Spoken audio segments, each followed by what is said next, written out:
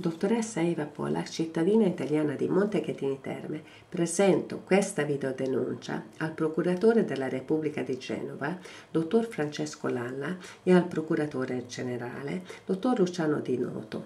I due magistrati sono competenti a ricevere querele a carico di magistrati di Pistoia.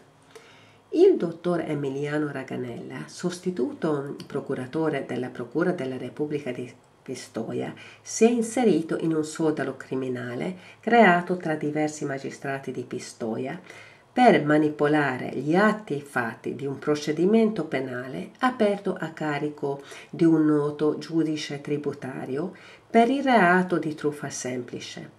Dovevano essere iscritti al registro anche magistrati fallimentari e esecutivo e doveva essere contestato anche l'associazione a delinquere. Ma in tal caso il procedimento doveva essere trasmesso a Genova. Le indagini sono state delegate in bianco alla Guardia di Finanza di Montechetini Terme, la quale, oltre di temporeggiare, ha anche fatto il suo gli agenti non hanno indagato sul contenuto della querela, ma sui fatti estranei, probabilmente per non dover coinvolgere i magistrati. Dalle indagini si è emerso che il Morini mi ha riciclato degli assegni bancari falsi per una cifra molto importante. Il Raganella ha manipolato gli atti affinché io non ne venissi a sapere perché all'epoca dei fatti era appena iniziato un processo penale a carico del Morini per il reato di truffa e proprio per questi assegni bancari. Quando ho presentato la querela io non sapevo ancora che gli assegni fossero falsi e questo fatto non è emerso neanche dalle indagini perché il magistrato di quel procedimento non ha indagato. Il ehm, eh, Raganella per un anno è rimasto inerte. Quando è uscita la sentenza di primo grado, a quel punto ha presentato al GIP richiesta di archiviazione con la motivazione che si trattava solo di un rapporto di mutuo. Di truffa non se ne parlava, ma aveva gli atti di indagine sulla sua scrivania e ha visto che tutti gli assegni erano falsi. Dopo alcuni giorni il Raganella si è pure astenuto dal procedimento con motivazione inveritiera, nonostante che non ce n'era alcun bisogno se ha chiesto l'archiviazione.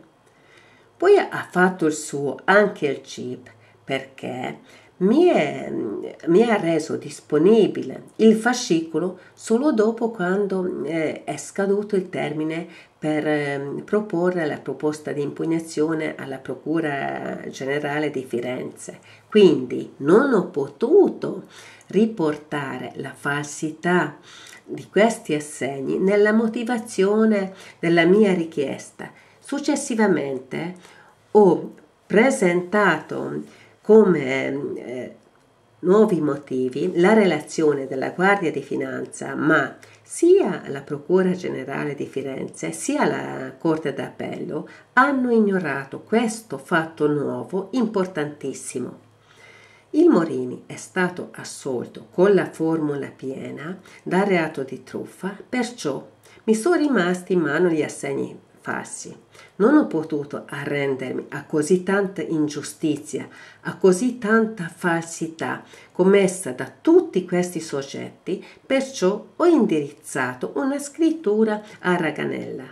Il Raganella non ha ritardato a denunciarmi, ma stranamente solo per il reato di diffamazione, nonostante che io in questa scrittura ho scritto delle cose pesantissime.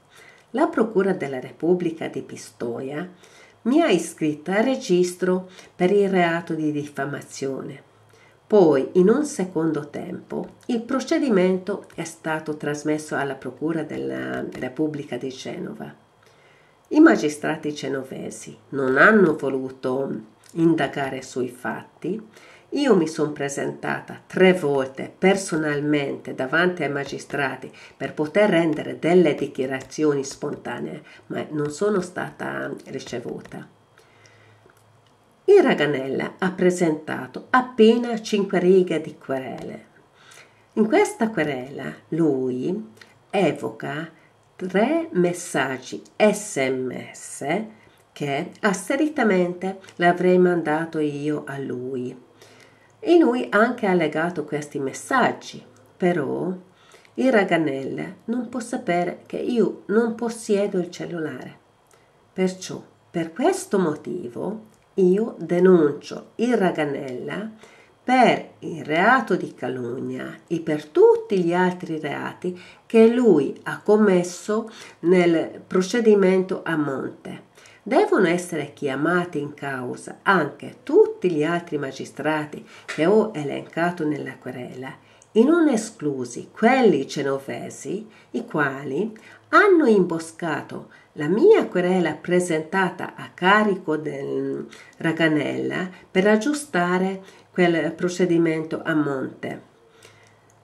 Io insisto che i magistrati vogliano adempiere a loro funzione pubblica, che vogliano trasmettere eh, l'esistenza del procedimento agli organi disciplinari, al Presidente del Consiglio dei Ministri, quale parte offesa principale dei reati, alla Corte dei Conti competente, perché? Ha competenza anche la Corte dei Conti, perché questi magistrati vengono a meno della loro funzione, danneggiano l'immagine della giustizia e sperperano i fondi pubblici. Perché vi faccio vedere l'elenco di tutti i procedimenti aperti a carico di magistrati di Pistoia, di Firenze, che non sono stati proceduti dalla Procura della Repubblica di Genova. Tutti i procedimenti sono stati assegnati a magistrati diversi e nessuno di questi si è degnato nemmeno ad acquisire i fascicoli che stavano a monte delle mie querele e quantomeno ad indagare. Ogni processo è stato insabbiato o a carico di ignoti magistrati o a carico o nel modello del registro 45 da atti non costituenti reati. Io domando a questi magistrati, che sono pagati con soldi pubblici, quanti soldi sono stati sperperati per gestire questi procedimenti che non costituiscono neanche reato, però dovevano eh, essere registrati tutti questi atti nelle notizie di reato se la magistratura genovese non voleva offrire la protezione corporativa ai magistrati di Pistoia. Insisto l'ennesima volta con il procuratore della Repubblica di Genova, dottor Francesco Lalla, e con suo superiore, dottor Luciano Di Noto, che vogliano adempiere alla loro funzione pubblica. Se no, devono valutare se lasciare la magistratura da lasciare il loro posto alle persone che avessero più voglia di lavorare. Dottoressa Eva Pollack con l'indirizzo email dot.evapollack-virgilio.it Comunque questa querela sarà presentata anche nelle vie ordinarie.